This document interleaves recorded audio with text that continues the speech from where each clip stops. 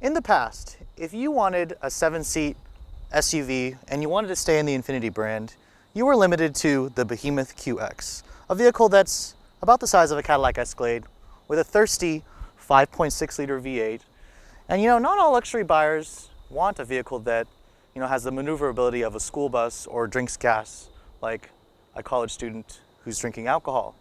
So this is Infiniti's new vehicle for 2013, the JX, their new seven-seat crossover. Infiniti realized that they got tired of seeing all their buyers go into Acura showrooms because they didn't have a vehicle that competed with it. So here comes this vehicle. It's actually based off of a stretch version of the Nissan Murano platform.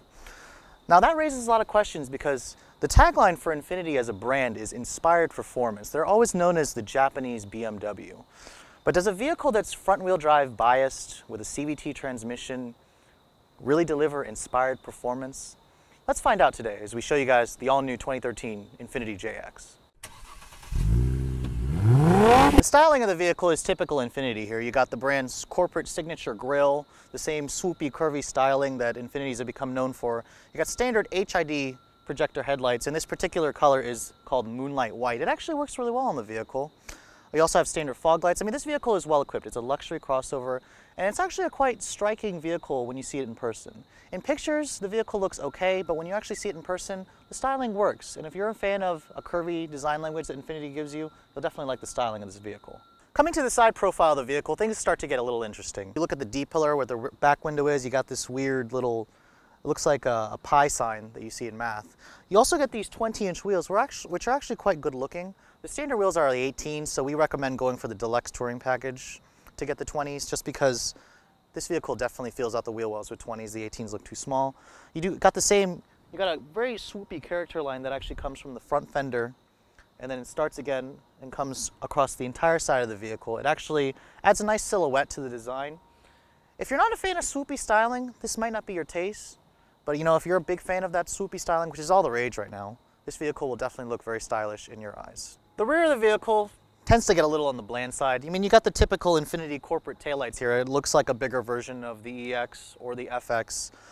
Overall, it's a very safe, conservatively styled vehicle. And the one thing about it is people will buy this for because they have a need for a seven-seat crossover. It doesn't really evoke the kind of emotion that you would get in a Porsche Cayenne or a BMW X5, but at the same time, that's not its mission. Its mission. So in terms of styling, we would give it a conservative design, and it works. Now the real purpose of the JX is to carry seven passengers in comfort. And the second row definitely does that. You have very good leg room. This particular model has the theater package, so it gives you the dual screen DVDs. The deluxe touring package gives you the dual panel moonroof atop, so it helps brighten out the cabin.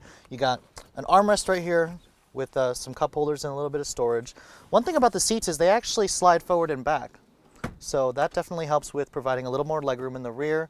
And you have vents back here and you have a tri-zone automatic climate control throughout the vehicle. So passengers in your second row will not be complaining. One of the innovative features that Infiniti likes to brag about on this vehicle is how the second row seats fold forward to get you access to the third row. You pull this lever right here and watch as the seat back bottom actually lifts up hydraulically and then you can just slide it forward to reveal a huge space to get into the third row. Infiniti says that for parents out there, you actually can leave the child seat hooked onto the seat when you're folding the vehicle, when you're folding the seat forward. As expected with any luxury crossover SUV, a power liftgate is included as standard equipment on this vehicle. Getting inside the interior of the JX is definitely a luxurious experience. You got, of course you have your standard intelligent key with this vehicle, so basically to start the engine, put your foot on the brake and push the button to start. And of course, typical, you know, Nissan Infiniti startup, the gauges do a really nice sweep. The interior in here is really classy looking. It has a really high quality feel. You can't exactly tell that from pictures, but actually sitting in here, the ambience is just really high quality. Coming to the dashboard, you have soft touch graining on the dashboard, soft touch dashboard in general. The graining actually takes me back to the mid 90s Toyotas. That's the kind of what the feeling of the graining has, the plastics. The wood trim is all very beautiful. You have, you know, really nice lighting in here. Uh, the color combination on this one is actually a really nice beige with the wood. Um, there are a couple of feature, uh, issues in here that I'm noticing is this panel right here on the top part of the dashboard is actually hard plastic. I wasn't expecting that in this luxury SUV. The steering wheel, however, is very nice. You have nice bolstering extensions, really soft leather interior. And the gauges, I really like with the contrasting purple or violet color rings with the white. Uh, coming to the door panels, it is soft touch right here as expected. This is where your elbows are gonna rest. Uh, and of course the same, you know, swoopy design language carries over in here. The dash is essentially lifted out of the M. And same with the steering wheel. And of course, this is the first Infiniti product that has Nissan's or Infiniti's CVT that comes off of a Nissan essentially. However, you do get a sport mode with an eco and a snow mode setting. Heated and ventilated seats are included.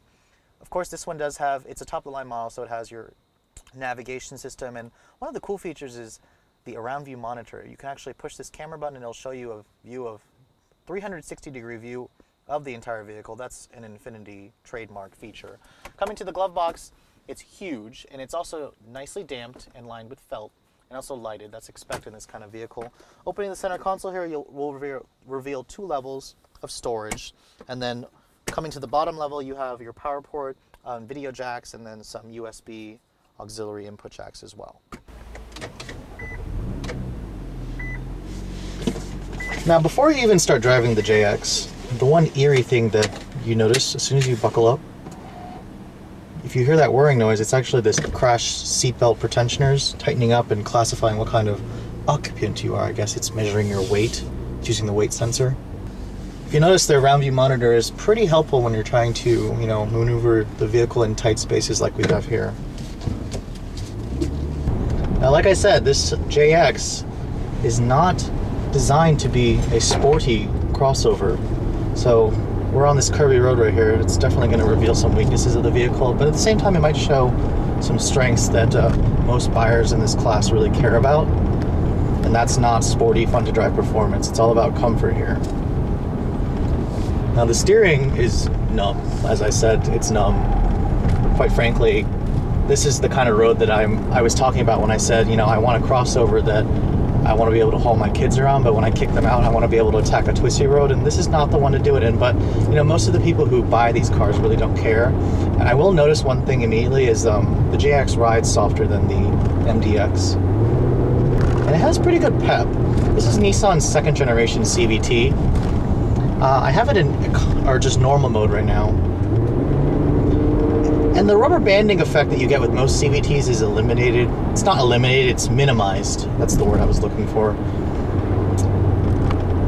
But CVTs, you know, attached to a V6 have always been much better as opposed to the droning four cylinders that most people are used to, especially that you get in hybrids. Now, with a 3.5 liter V6 from the Murano and only 265 horsepower, the JX is down on power compared to the competition by, you know, 35 especially when the MDX is packing 300, but you don't really notice it that much. Just because I guess Nissan's second generation CVT is pretty responsive. And the engine makes a, a pleasant sound when it's revving. It's not like your usual CVT drone.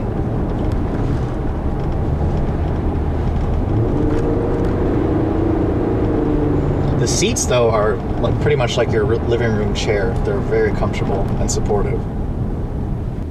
Now, if you pay attention to the little cool information screen between the speedometer and the tachometer, you can see that it's actually got several different menus. You can push this button right here on the steering wheel, and it cycles between you know different uh, settings and menus.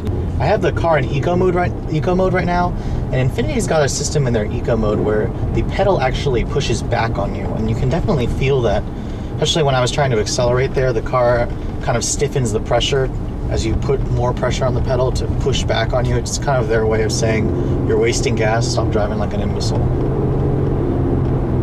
It actually works fairly well, I must say. It annoys me, but at the same time, it's keeping me from putting my foot to the floor. So I have to say that's a really good system that Infiniti actually thought of. Now, this vehicle does come standard with HID headlights and fog lights, and they do a really nice job of uh, illuminating the road ahead of you. Of course, that's expected of this type of vehicle. I've always been a fan of HID lights. I think that uh, they should be standard on almost every car, and they just add a nice upscale ambience and character to any vehicle. You can see that this is a CVT because it likes to hold the revs, typical like any CVT. I haven't driven Honda's new CVT, but Nissan supposedly makes the best. And this is a much better CVT than the other CVTs I've driven. But at the same time, the handling, while it doesn't inspire confidence, is secure enough. And the transmission's in sport mode right now. The engine makes a decent sound and it holds the revs up where I'd like it to hold the revs up when I'm trying to, you know, maneuver on these curves and accelerate out of them.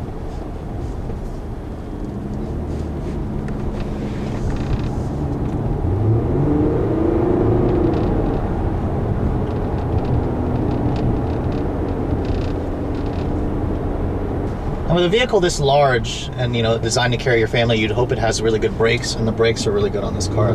They have a nice feel, nice good bite to them. And the car doesn't have much nosedive. I mean, there is some nosedive as typical of an SUV, but they inspire confidence, and that's important, especially uh, when you live in an area that require that has a lot of people that like to do a brake check on you, and that's constantly in the Northern Virginia area. In about a quarter of a mile, continue straight ahead onto Spring Hill Road. Thank you, GPS lady. Now, on to my final recommendations. You know, I started this video saying that uh, Infiniti is known as a brand that delivers inspired performance. So does a seven-passenger, you know, front-drive based SUV with a CVT deliver inspired performance? The answer is no, not really. But at the same time, Infiniti built a vehicle that performs its intended job very well.